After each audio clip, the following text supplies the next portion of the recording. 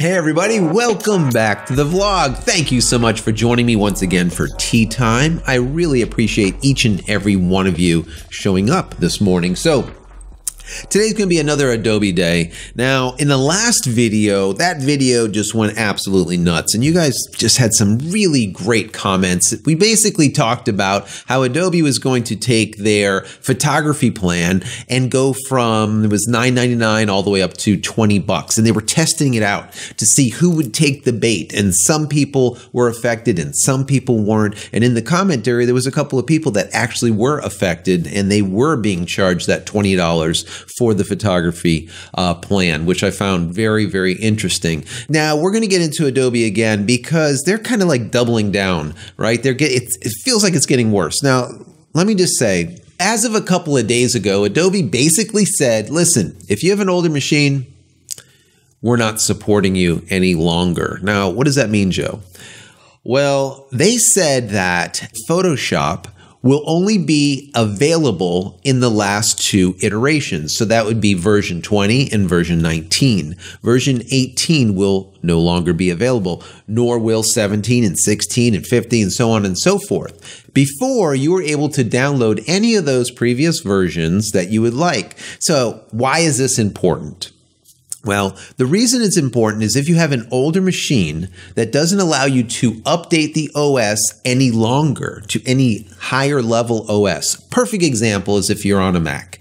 We have a Mac that we use in the studio that is maybe let's call it six years old, eight years old, whatever it is, and it will only go up to 10.13. And that is it. We cannot put Mojave, which is 10.14 in it. So as soon as Adobe says 10.13 is no longer acceptable to them, we will no longer be able to use Photoshop on that machine or any of their tools, okay? Because they're not going to provide any type of updates nor the ability to download any older versions. So, for example, the minimum requirements for Photoshop 20 and 19, you would need 10.11, which is El Capitan. So if you only have 10.10, which is Yosemite, well, you're SOL you can no longer download a version of Photoshop to use with Yosemite.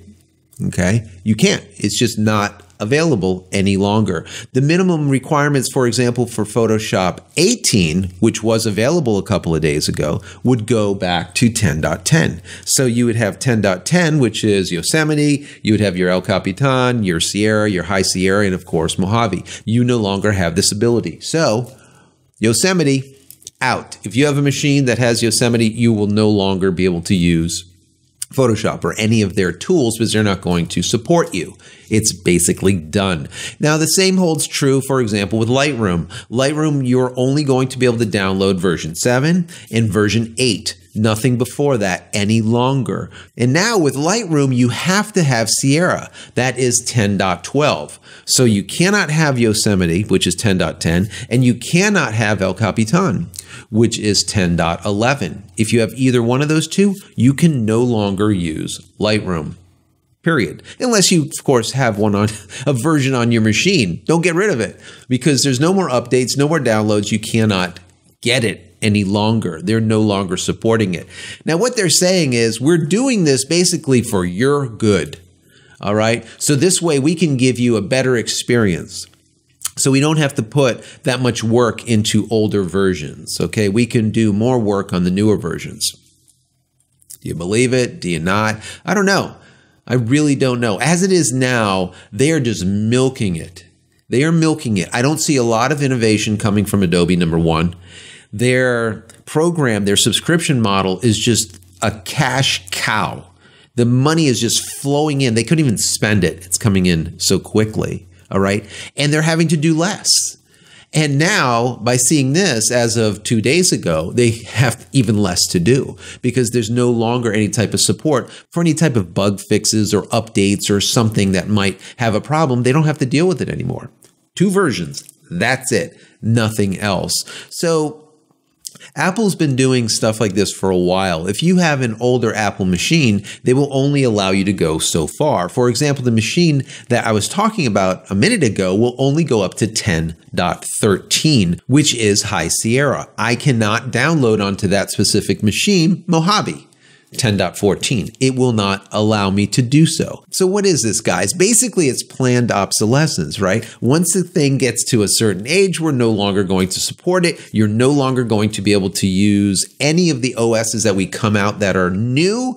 So you have to buy a new piece of hardware, even though the hardware is still functional. It's still really good. It's a way for Apple to be able to make more money because they are a hardware company, not a software company. They need you to buy new hardware. And if you hold on to it 10 years, they're not going to get any more money from you, right?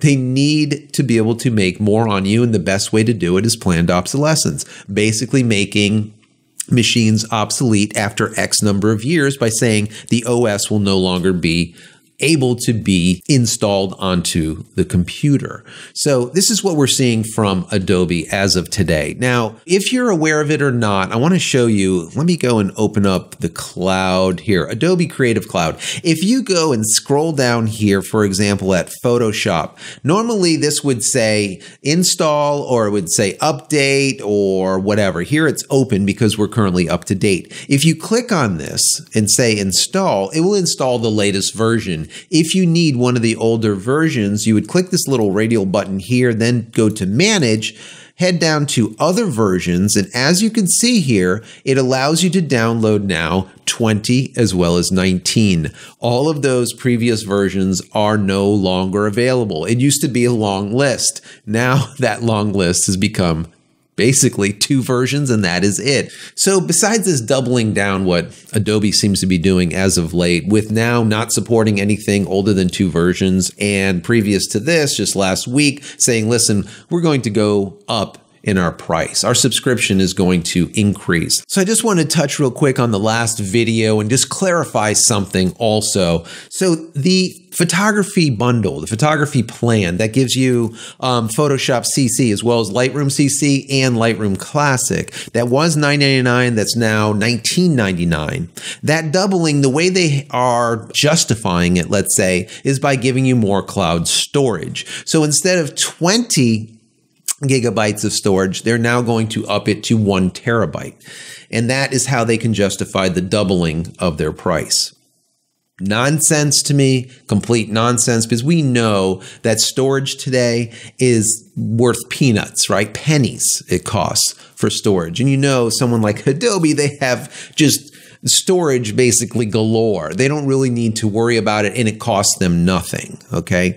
So I just wanted to clarify that because some people said, oh, well, we get more cloud storage for our double of our price. And you are absolutely correct. You do get more cloud storage, but that is it.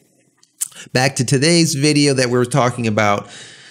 Once again, if you have an older machine, just be aware that your software might not work any longer. Okay. Especially if you have an older machine. Look at the machine, look at what version. Now, I was talking about Mac. This holds true also with the latest and greatest of Windows. Okay. So look at what version you have, look at how far you can go with it. And for example, if you have a machine that only goes to, let's say 10.11, some of this software will no longer work on your computer. All right. So you're going to have to update or upgrade your computer if you want to use the Adobe products.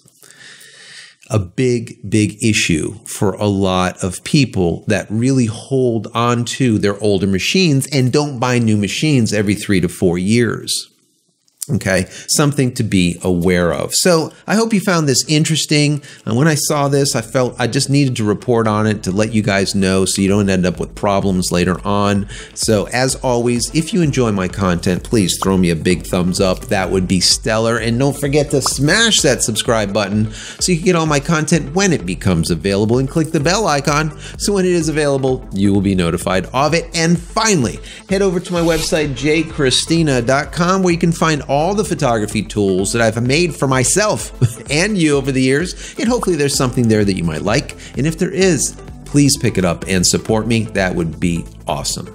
As always, I appreciate each and every one of you for stopping by, hanging out, talking with me, and putting your thoughts in that comment area. The comment area is absolutely unbelievable on this channel. So if this is your first time here, check it out. What I talk about here in these videos is only about 10% of all the goodness that you will find on this channel. Go back to any of the 200 videos, whatever it is, check out those comments and you will learn a lot. The people that you will see down there are almost zero trolls, all smart people that are willing to offer you their knowledge. So check it out.